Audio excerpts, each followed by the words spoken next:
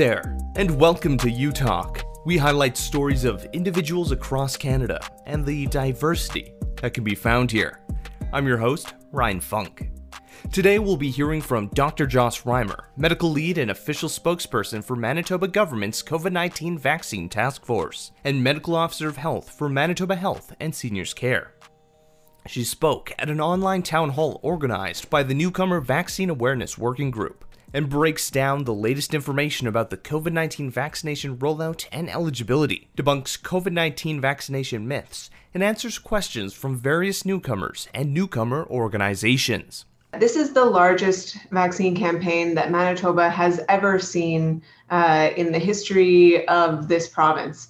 Um, the second largest was the H1N1 pandemic in 2009 and 2010, where we gave almost 700,000 doses of vaccine to people in Manitoba. But now we're talking about millions. And in fact, the number here is, is out of date uh, because we've opened up to age, well, we will be opening up to age 12 and above. Uh, so we're talking about offering to a million Manitobans two doses of a vaccine. So a very different scope uh, compared to anything we've done in the past. And we are trying to use a science-based and evidence-based approach for every decision that we make. So we have a number of different groups that provide us with advice. We have a medical advisory table, which has over 30 physicians from immunology and infectious diseases and pediatrics, obstetrics, public health, that all uh, meet together with some pharmacists and nurses uh, to give us advice uh, on uh, how to use the vaccines, who to offer them on. So they tell us whether or not to use it in pregnancy, for example, uh, and whether or when to time it for people who might be on certain medications. Uh, we also have an epidemiology and surveillance team. these are the experts who collect and interpret and communicate out data both around infections and the vaccine rollout uh, and help us understand what's happening in Manitoba there. Uh, we have medical officers of health. These are public health doctors who work in public health all the time. Uh, but now almost all of our work is focused on COVID, and we meet many times a week uh, to come up with the population level advice uh, for both the vaccine as well as uh, responses to the virus.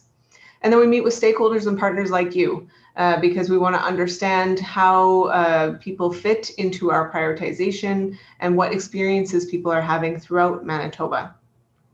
So the next couple slides, I'm just going to go through briefly just to cover a bit about what we know about how Black, Indigenous, uh, and people of color are being impacted by COVID compared to uh, other folks in Manitoba.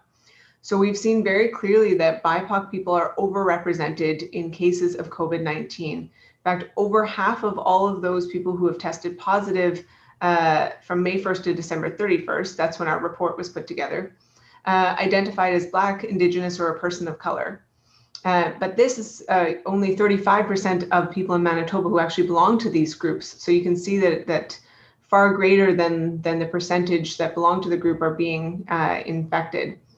Uh, and we saw num numbers being particularly high in the Filipino community, as well as the South Asian communities, uh, on top of our First Nations uh, overrepresentation. Um, and so, you know, these are areas that uh, we very much want to focus on and ensure that we are prioritizing for vaccine because we've seen this higher um, burden of illness eh, in those groups as well. Um, next slide. And likewise, we've seen an overrepresentation of cases who work in food manufacturing, in the service industry, and in transportation.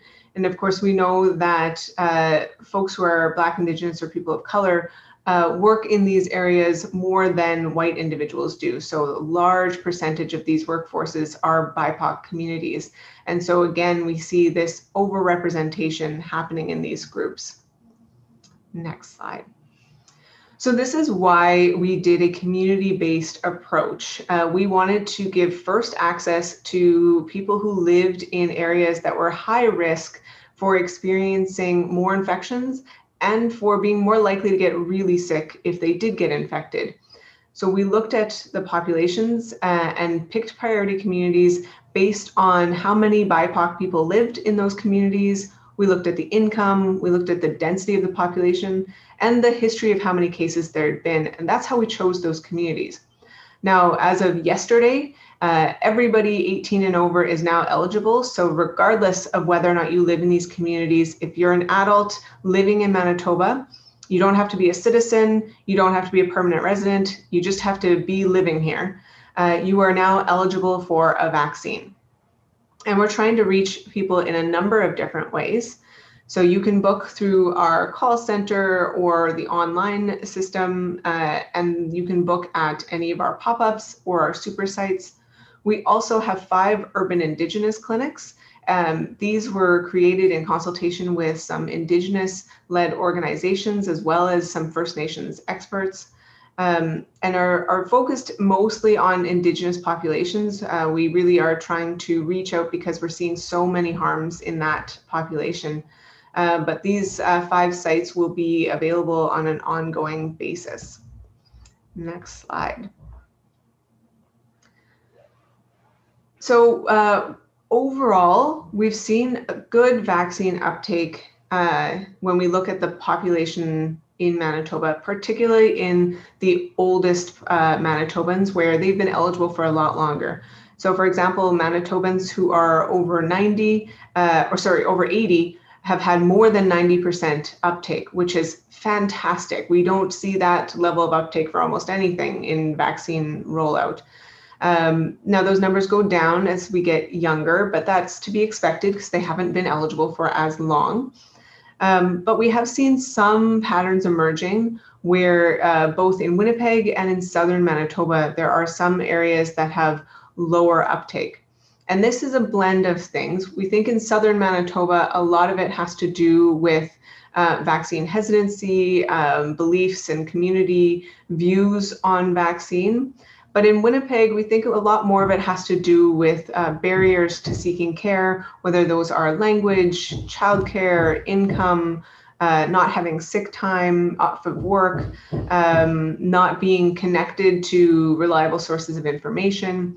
Uh, and so, uh, what we need to do as our next steps is to work on things like this, uh, where we're meeting with you to reach those communities. Next slide, please um, so that uh, we can get the information to you so that you can spread it to your communities and you can be that reliable voice uh, to the people uh, that you love and work with and uh, your other community members. Uh, we want to work with the ethnocultural and newcomer serving organizations.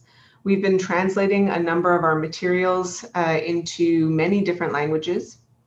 We now have that if you call the booking line, you can ask for a phone interpreter to join the call, uh, and we have hundreds of languages available.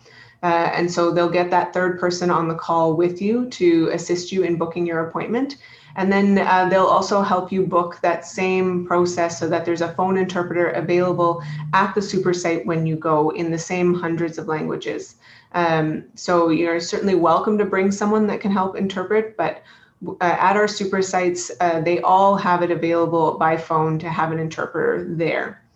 Um, we're also doing some outreach to religious leaders and other community leaders in key regions, again, because I know that people listen to the people around them. They listen to their loved ones, they listen to their local uh, leaders who are respected in the community.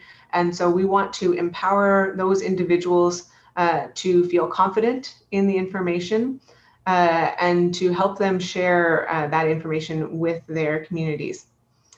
We're doing some targeted advertising uh, as well as some uh, at the provincial level, as well as some community led initiatives to reach out to a lot of people.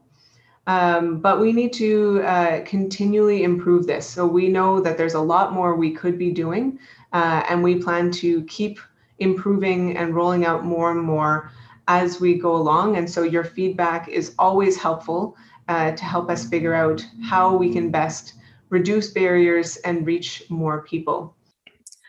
Okay, Dr. Reimer, uh, many of our ELS students in adult ed classes are asking if being vaccinated will become a requirement for classes in the fall and if non-vaccinated students should stay on online classes.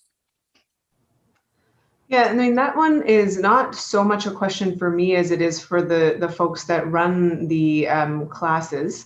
The English as a, an additional language classes. Um, each facility could make a decision on their own. I suspect most of them will not require vaccination in order to attend, but certainly at the provincial level, we're not planning to require vaccination in order to attend classes. Um, so that'll be something that uh, each facility will have to make decisions about how best to run their classes with a blend of in person or um, online. Okay, thank you. Uh, you say that everyone in Manitoba has access to vaccines. However, when you are called, they ask for your health number. That's a that's a great point. So uh, if you do have a Manitoba health card, um, that uh, helps us because uh, we can we have you in the system and it's easy for us to uh, get uh, into your file and get everything organized. But it is not a requirement. So you will be asked if you have a Manitoba health number, but if you don't have one, they can still book you. You can still go and get a vaccine. Um, it's just much simpler for us from a from a tracking and organization uh, perspective uh, to be able to uh, attach things to people's health card if they have them. But please uh, do still call and book and plan to get uh, a vaccine even if you don't have a Manitoba health number. Okay, thank you. Uh, we have a hand raised by Dr. Denise Coe. It was really around um, like if there's access issues um, with the BIPOC community and there's a strong link with work link with workplaces, I'm wondering more about um, when or how we're going to be able to open up the workplaces that are offering to do vaccine clinics for their racialized workers.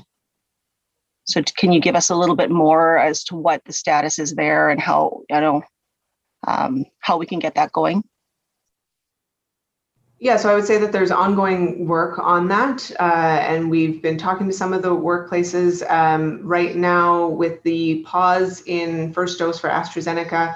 We have to shift our approach to be thinking about Pfizer and Moderna. So um, that work is happening now, but we do want to reach people as much as possible through many different mechanisms going forward. Uh, we started with uh, things like super sites because we wanted to get as many doses into people's arms as quickly as possible.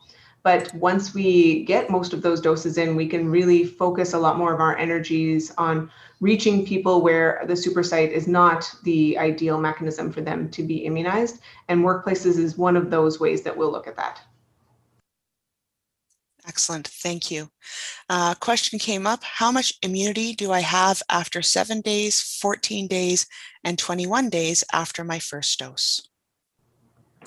Yeah, so most of the evidence uh, shows that after about 14 days is when your uh, immune system will hit its, uh, or at least close to the peak response um, or highest response to the vaccine.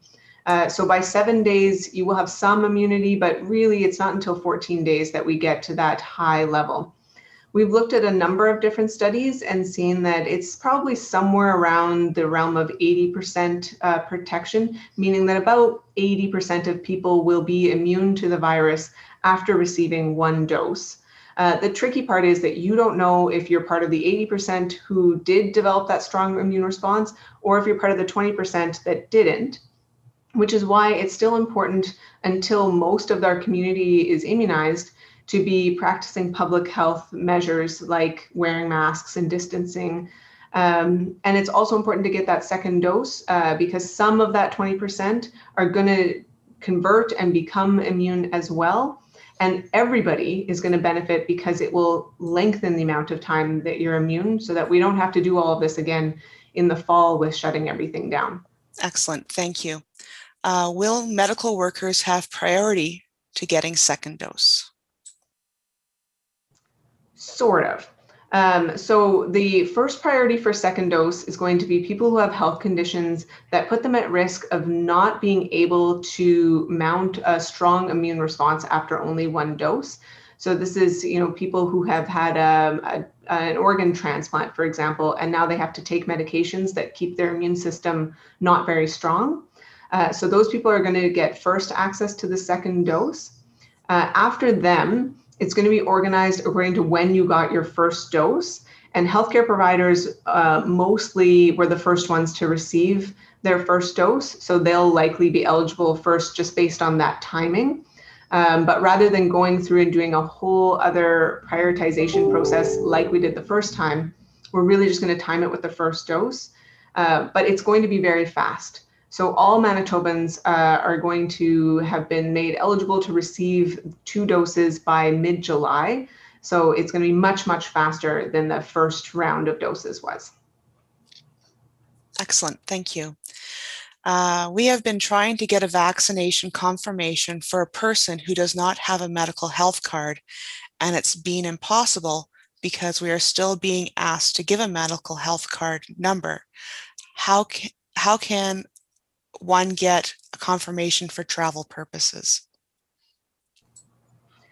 Yeah, so if you call the booking line, they they should ask for the health number, but shouldn't require it. Um, and so certainly we would want to hear at the task force if they are uh, requiring it because they shouldn't be.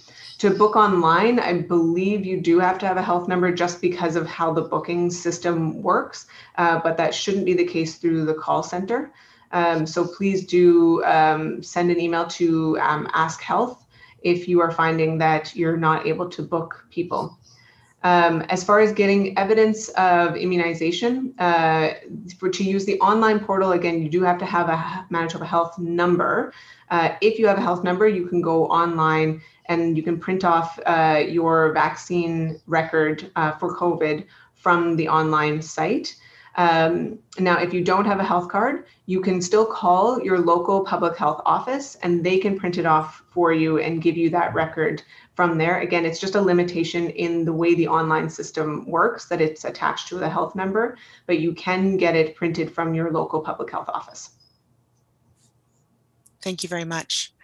Uh, it's great there is a there is language access. However, is there a way to fine tune the access to interpreters when using the call center?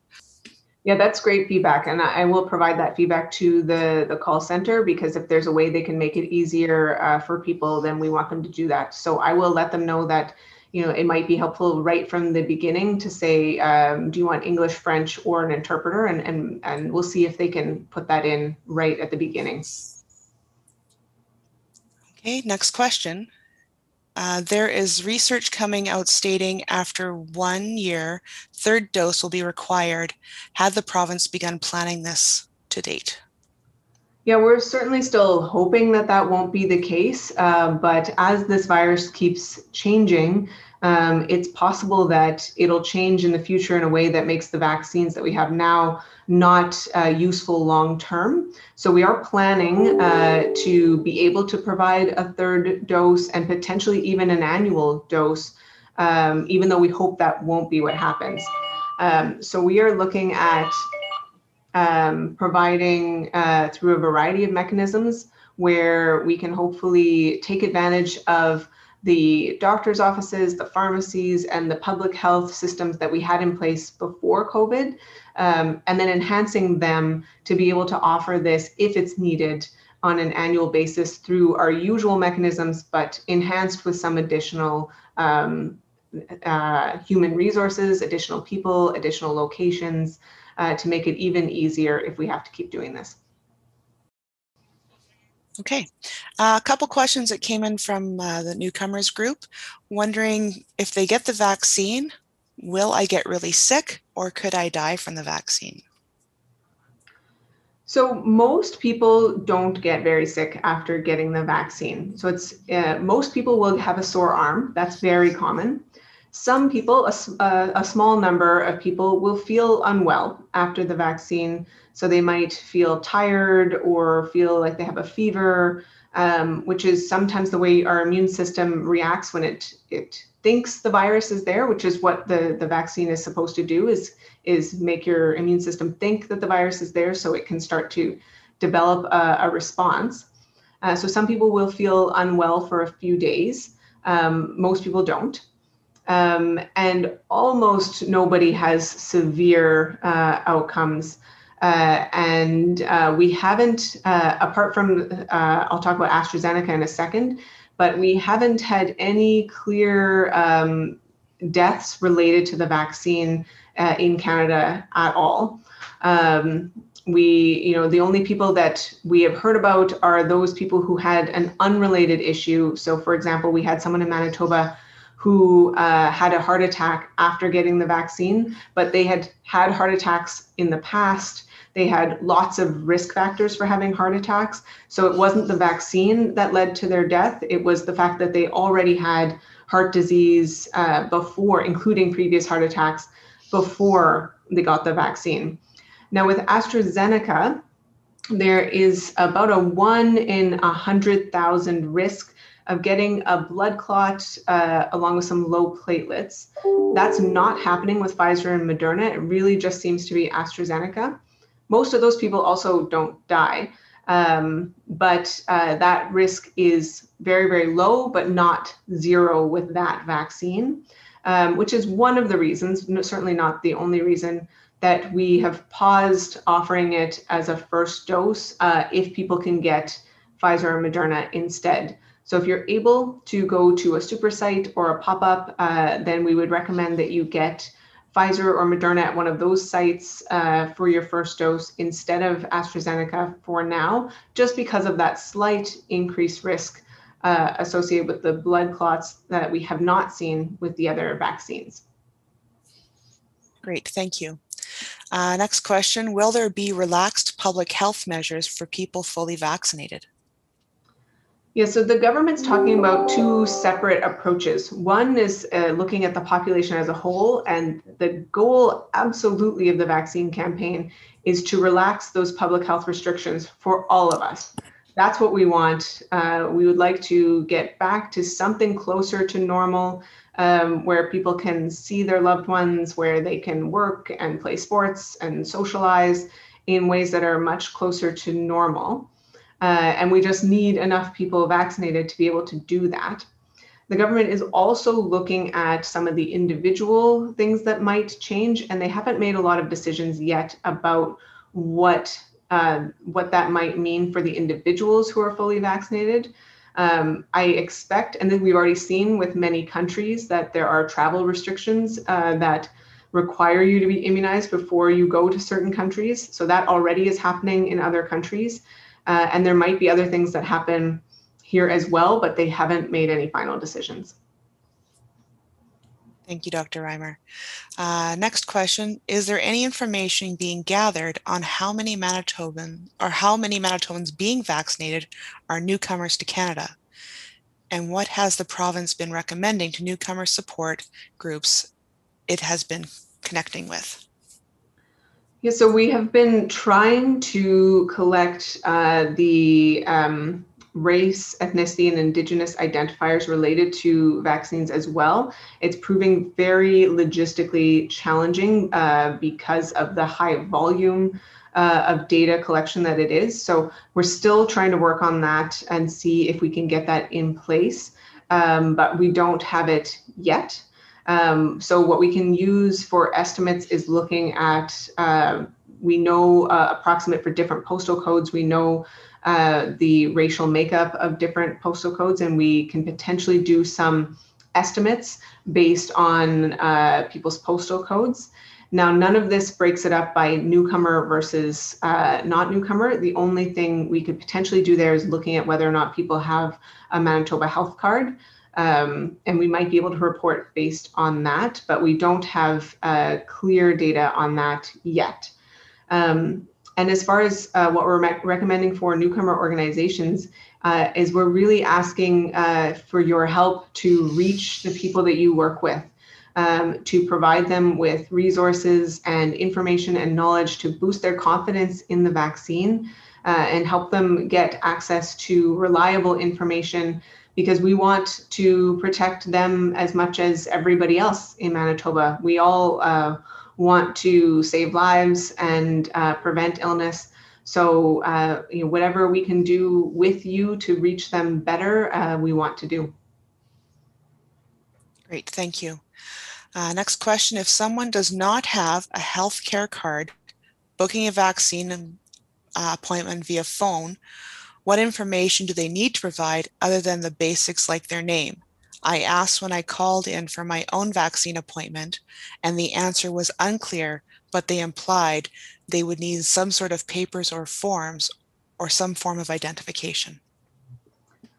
So they they'll definitely ask you for your date of birth, uh, you know, your name, your address, uh, because they do need some way to make sure that uh, we're only giving one dose to everybody, or eventually two doses to everybody, and that we for dose two that we know who got what dose uh, in the first place, so that you don't get the wrong product um, or other things like that.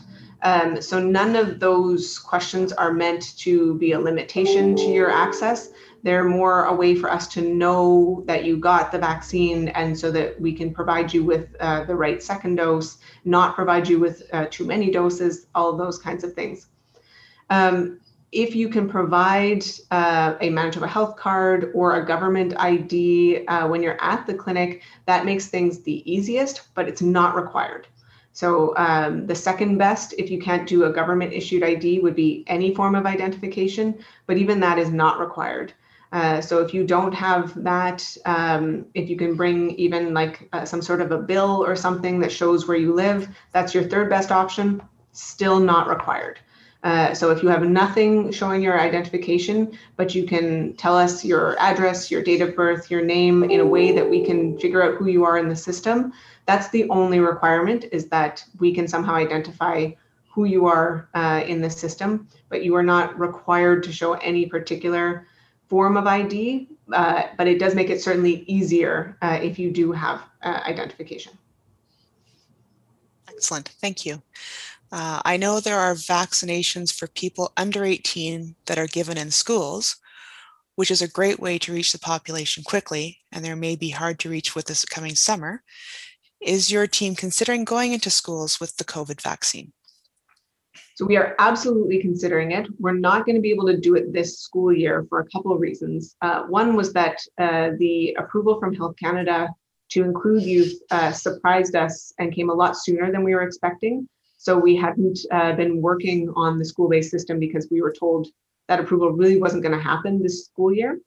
Um, the second issue is that uh, in Winnipeg and Brandon, uh, almost all students are on remote learning right now, so they're not in the schools. Uh, and even outside of the those two cities, many of the schools are on remote learning, so we can't reach most students that way right now. Um, but when it comes to the fall and kids are back in school, we are uh, absolutely looking at that, as well as the fact that we're behind on our usual school-based vaccines. So we need to figure out how we're going to catch up on that as well. So uh, no final plans yet, but it is absolutely one of the things that we are considering. Okay, thank you.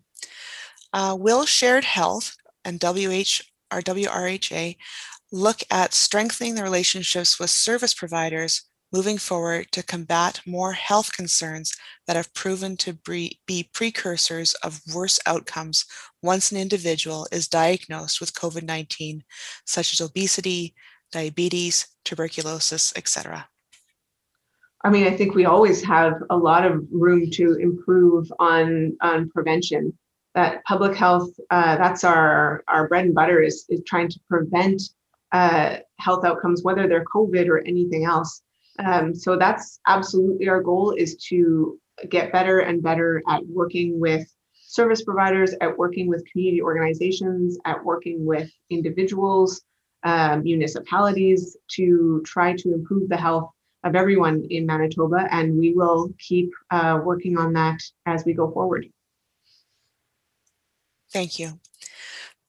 Are there any plans to do pop-up clinics or fit teams to do vaccination clinics at the ethnocultural community centers?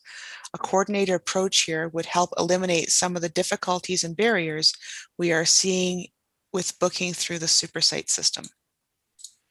So we, uh, like I said, we're starting with the uh, most efficient, so the fastest ways to get people through, uh, because we wanted to try to get as much immunity into Manitoba as possible to help decrease the uh, third wave. Because the more of us that are protected, the more it helps even those who haven't received the vaccine yet. Uh, but we're now getting into the planning on how to reach people who were not well served by those sites uh, and uh, looking at a number of different mechanisms to provide vaccine in many different locations. So we have talked about places like ethnocultural community centers or specific churches, um, and we'll keep talking about that. When minors start getting their vaccine, will their parents be required to go with them to the vaccine super site or can they go on their own? I am thinking of those who have their license and can go on their own. That is a great question. Um, so for 16 and 17 year olds, um, unless uh, there's something that the clinician at the site has a specific concern about, they uh, can go on their own, they can book on their own, they can sign their own consent form, uh, and they can get the vaccine without anybody uh, joining them or giving permission on their behalf. Uh, for someone who is 12 to 15, uh, ideally, we would either have their parent or guardian present with them at the clinic or we'd like them to sign the consent form ahead of time and send the, the child with that signed consent form with the parent or guardian having already signed that consent form. Um, but if uh, the a 12 to 15 year old does come to the clinic without uh, a parent or guardian and without a signed consent form, we have a process at the clinic where they'll go and talk to one of our nurses or our doctors so that they can do uh, a one-on-one assessment uh, to determine if that individual has the ability to understand all of the risks and benefits of the vaccine of the of covid uh, illness uh, and if they determine that the youth does understand all the components of this decision they uh, can be considered what we call a mature minor and then they can consent uh, for their own vaccine without the permission of a parent or guardian but certainly we prefer that the parent or guardian, guardian either be present uh, or have provided that consent ahead of time. And we will try to uh, phone them uh, at the clinic if, say, you know, a 13 year old comes without uh, that uh, ready. But but we do have this backup process uh, for kids who do clearly understand the risks and benefits. Thank you very much. our sense that our sense right now is that COVID cases are rising in newcomer communities rapidly. Lots of families attending online programs are sick. It feels very urgent to create pop up, low barrier sites at community locations sooner than later.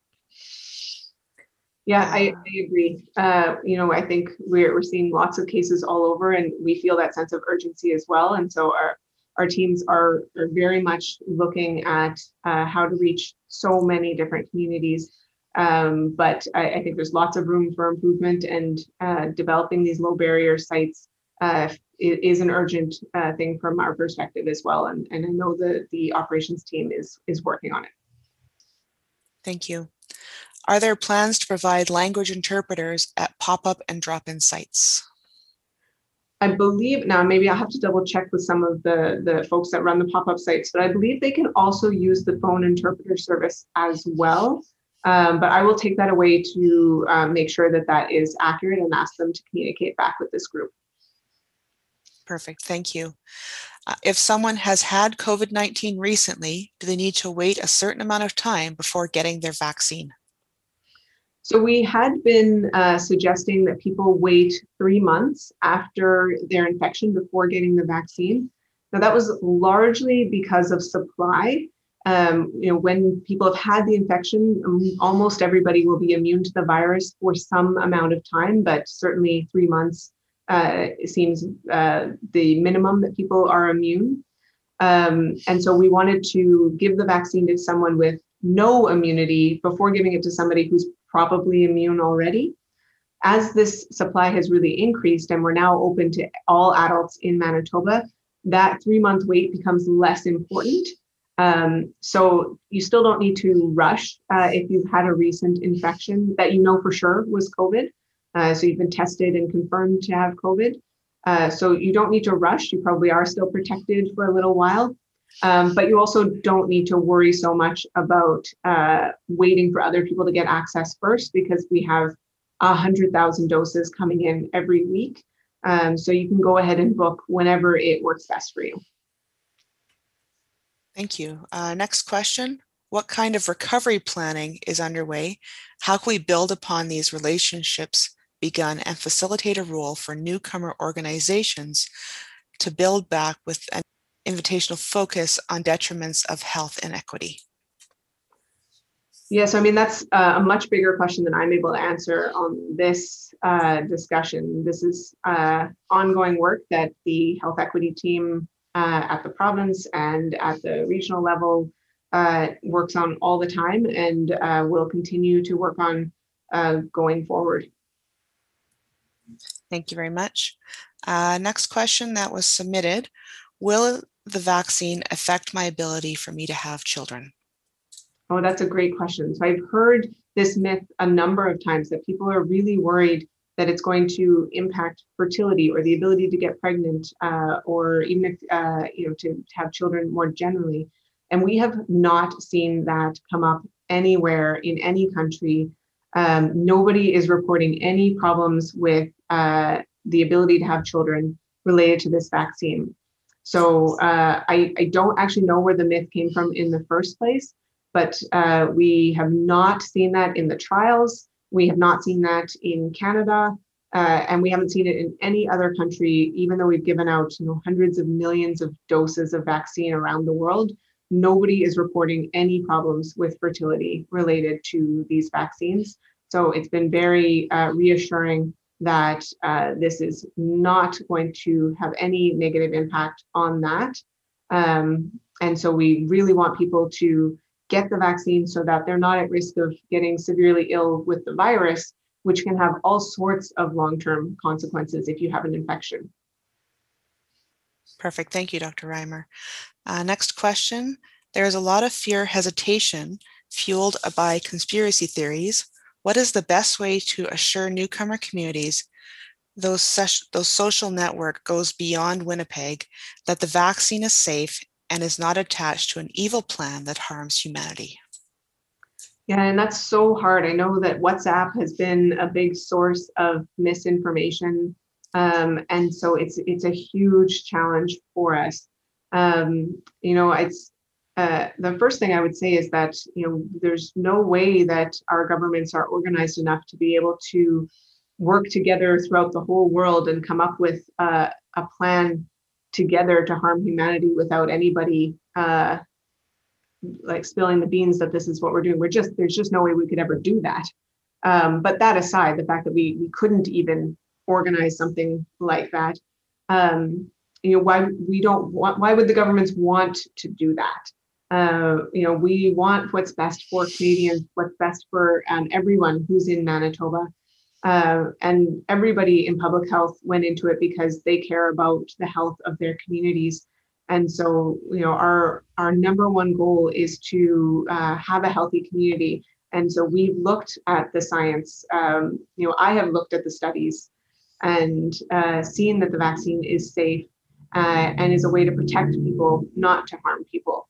So, you know, it's you, have all seen it. It's challenging uh, all over the place. I have uh, friends and family as well who who worry about some of these um, you know myths that are circulating, and so uh, it's something that we're going to have to be working on for a long time uh, to help people feel confident that uh, this vaccine is in their best interest.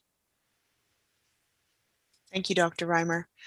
How can organizations help reduce vaccine hesitancy, especially for groups where getting the vaccine wasn't a common thing in their home country? Should we record or take pictures when we get our vaccine to share with others to show that it's safe? Yeah, I think there's a lot of really great things that uh, newcomer organizations can do because you are uh, very trusted with these communities. And so uh, being able to demonstrate uh, if you've had the vaccine uh, that uh, you're doing well uh, can make a huge impact on somebody more than me sharing numbers ever could. Um, so being the those examples uh, and those leaders for your community uh, is so important to being able to reach people and help them feel comfortable in the approach and also having if you have access to reliable information and can provide that uh, I, you know you are also seen as leaders for that sort of thing in these communities and so that that can be incredibly helpful. Um, and helping to spread, you know, if we have materials in many languages, uh, we do really rely on the community organizations to distribute those materials uh, because you know we don't have direct contact with everybody in Manitoba. So taking advantage of the the relationships that you already have developed over so many years of work um, will make a huge difference in people uh, feeling trust in the, the system if they know that the people who have cared for them up until this point uh, trust in the system as well. Thank you, Dr. Reimer. Uh, will the minimum age go down to six years or younger for vaccination?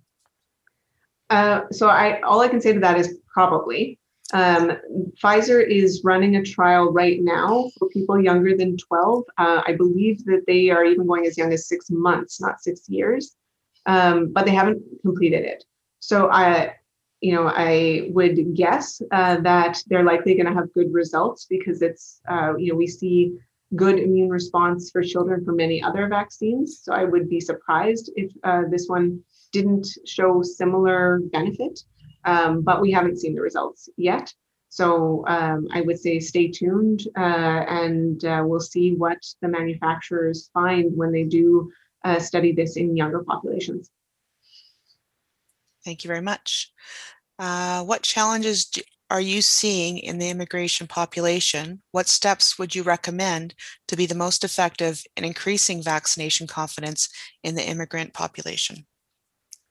I think there's a lot of challenges in, in uh, newcomer populations. Um, so certainly language barriers are, are a big issue. If all the materials are available in English and French, that, that may not serve many people.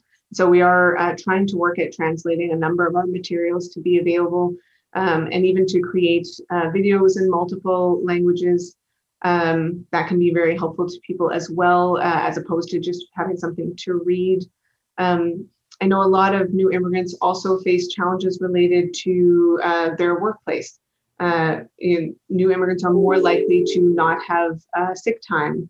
Uh, and so it can be challenging to get both childcare and time off work to be able to go for a vaccine, even if they really want to do that. Um, and then we've already talked about a lot of the, the myths that have been circulating, and uh, we heard we've heard a lot from some of the uh, members of the South Asian community about the, the conspiracy uh, theories that they're seeing on WhatsApp, for example.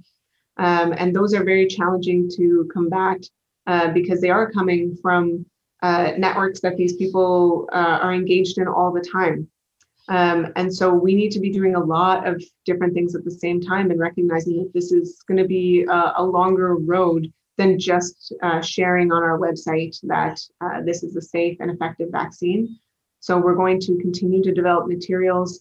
We're going to continue to work with uh, community organizations and, and try to expand uh, how we connect with the organizations. We're going to uh, set up uh, pop-up sites in convenient and trusted locations for people in the future. Um, and we're going to try to keep and expand our connections with local leaders, uh, whether they're uh, community leaders or religious leaders, uh, to arm them with the, the best possible information to share with their communities. Thank you, Dr. Reimer. Uh, this will probably be our last question. If the COVID 19 vaccine dose becomes an annual thing, what will public health do to ensure the large amounts of Manitobans get it, especially since the vast majority don't get the flu shot? Yeah, and, and we're going to have to face that that challenge for sure. Uh, you know, we typically see um, about a third of Manitobans get the flu shot, uh, and we want to go much higher than that for uh, COVID. Um, so some of the things we're going to do is is ensuring that it's in convenient locations uh, at convenient times. Uh, we're going to be uh, enhancing our existing infrastructure to be able to uh, reach people in schools, in potentially workplaces, in a lot of different ways. Uh, but this is something that public health is going to have to be working on if we have to do this. Um, uh, we're going to have to be working on for years to come to ensure that everyone in Manitoba uh, sees the benefit of uh, getting the vaccine. You can call to make a vaccine appointment at 1 844 626 8222. You can also book an appointment online, along with reading some COVID 19 resources. The phone number and links are available in the information of this episode. If you have any stories you'd like us to share or communities we should highlight, leave a comment on our social media or reach out to us on our website. I'm Brian Funk. This was U Talk, and have yourself a good one.